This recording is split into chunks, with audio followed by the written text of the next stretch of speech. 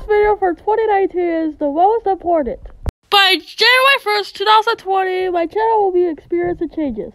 If you watch all my YouTube kids, those videos will not affect you. By someone else's channels, it will not affect you too. If you notice, YouTube will disable my comments so you will not comment down below my videos. They'll be, they'll be removing notifications, fans, because no more notifications. Rest in peace. They start disappearing as well, like ad screens and playlists. All the features on YouTube. This is what's happening because now it's called COPPA. COPPA stands for Children's Online Privacy Protection Act. And and a new YouTuber will disable their YouTube videos. All YouTubers will disable are made for kids. Stop COPPA, and of course, I was playing Roblox. Why? Because you play Minecraft, Roblox, Fortnite, whatever.